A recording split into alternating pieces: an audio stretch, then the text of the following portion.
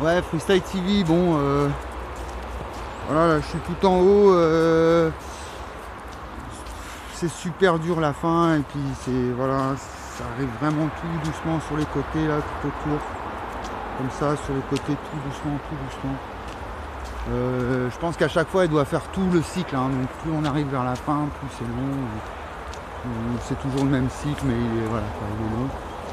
Et, euh, euh, simplement, je veux dire, tout à l'heure, j'étais, j'arrivais devant Super U. Et euh, là, il y a la voiture des flics qui, s'arrête au milieu de la route.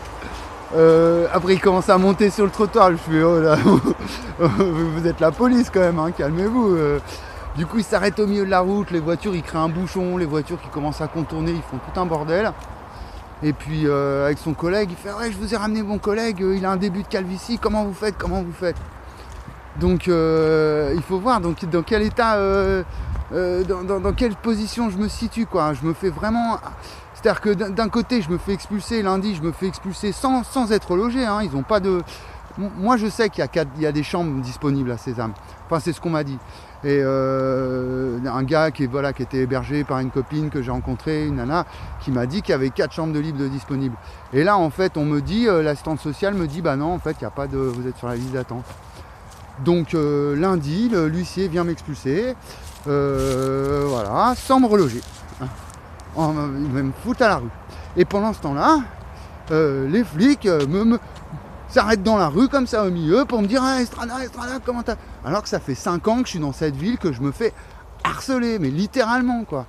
Prison, euh, j'ai menace de prison, j'ai fait de la garde à vue, euh, euh, bordereau de, d'écrou volontaire, ils m'ont fait signer, ils m'ont euh, menace de piquet kéro, ils m'ont tout volé, ils m'ont, à chaque fois que je me faisais agresser, je me faisais menacer avec une hache et tout. J'allais voir les flics, ils me disaient Estrada dehors, on en a rien à foutre de tes dépositions. Quand j'allais déposer et tout, bah ils prenaient, ils ont pris mon propriétaire qui faisait des faux témoignages en sachant très bien qu'il mentait.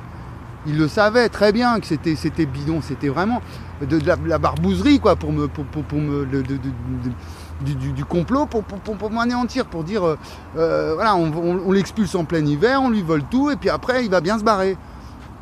Et, euh, et donc voilà, et ça continue, et ça continue, et ça s'arrête pas. Et donc là, je dois passer en correctionnel pour vol d'électricité, menace de mort.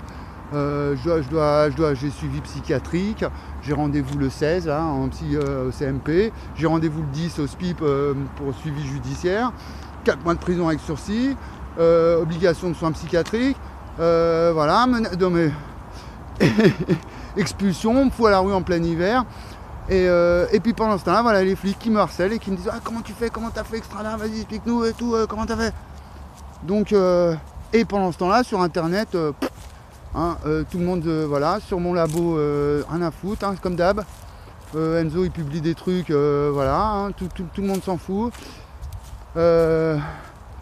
Voilà, puis mes amis qui continuent à me la faire à l'envers, les gens qui m'entourent, oh mais qu'est-ce qu'on peut faire Ah bah vraiment, ah là là, ah bah oui, bah tu sais c'est comme ça, oui mais t'es pas chez toi donc c'est normal parce que les nouveaux proprios qui balancent tout par la fenêtre. Euh, voilà, hein, des, des- hein, en fait. hein, c'est-à-dire que moi quand j'ai récupéré cette maison, bah, elle, était, dégueulasse. c'était, un tas de, donc c'était géré par l'UDAF, donc par l'État. Euh, moi je fais un travail nickel, je redonne vie à cette maison. Euh, c'était, devenu beau même. J'avais fait quelque chose de beau. Et voilà le résultat. Et, avec des nouveaux proprios qui balancent tout par la fenêtre, qui me font des menaces, on va venir avec des potes te péter la gueule et tout. Voilà la ville de Castex. Euh, bon, après c'est pas lui, lui, lui, hein, parce que j'ai un enregistrement de lui. Euh, je vais pas le diffuser sur internet parce que je respecte sa vie privée. Et franchement, euh, limite, il m'a fait de la peine. hein. Euh, Qu'il ait des tendances, voilà, c'est sa vie privée. C'est moi, je suis pas homophobe. Hein, je suis pas raciste, je suis pas sexiste, je suis pas rien du tout. Bon, maintenant après, voilà, hein, c'est l'histoire politique, c'est quand même grave ce qui s'est passé pendant ce Covid. Mais, mais moi, je ne veux pas en faire une affaire d'État. Simplement, je fais de la, sociologie de, de, combat, d'action. Et, je vois que le problème, en fait, il n'est pas, forcément dans les. euh, euh, bon, alors je pense qu'il y a quand même des réseaux hein, d'influence. hein, qui en fait euh, inconsciemment le fait qu'il y ait des gens qui fassent quand même des, atrocités à l'intérieur des institutions ça influence le, comportement des fonctionnaires et, de, la, fonction publique et de certaines personnes et, bon, et des gens en général hein, qui sombrent dans le, pourquoi il y a des gens ils sont dans la folie ou ils sont dans l'alcool ou parce qu'on est dans si si si si fondamentalement dans les structures mêmes de la société et que ça existe depuis le Moyen Âge, même avant, euh, y a, il se passe des atrocités, vraiment. Euh, hein. donc je parle de, de, kidnapping, euh, de, viol, de meurtre, de rituels, hein, vraiment. Et que, ça, ça, existe pour de vrai, hein, été prouvé mille fois. je pense que là, on a suffisamment d'éléments aujourd'hui. enfin prouvé, il y a eu suffisamment de procès, bon, qui ont été en plus, quand on voit les issues des procès, comment les affaires sont étouffées, comment. Donc on a suffisamment de preuves. Euh, pour, en être persuadé. Euh, maintenant, bon, ce, qui, est intéressant, c'est d'analyser le comportement des uns et des autres. Hein. Euh, et puis, moi, ce que j'essaye de comprendre, surtout, c'est cette lâcheté, hein, cette fuite, c'est cette hypocrisie, cette mauvaise foi qu'il y a dans mes interlocuteurs.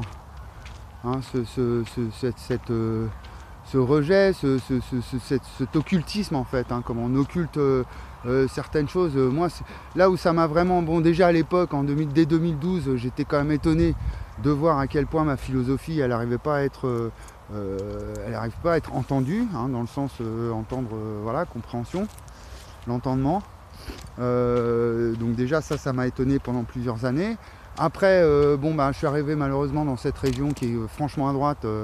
donc, bah voilà, hein, j'ai vécu martyr pendant des années. Et puis bah, ce qui m'étonne encore plus, c'est euh, là une démonstration euh, arithmétique, quoi, vraiment euh, complète, avec une philosophie derrière, et que là ça passe pas du tout. Enfin qu'il y a un tel. voilà, hein, c'est comment, on réduit. ah, bah, j'ai vendu ma 400-500 euros. Hein, voilà. Donc je vais répondre, c'est ma 405 qui va partir, je pense.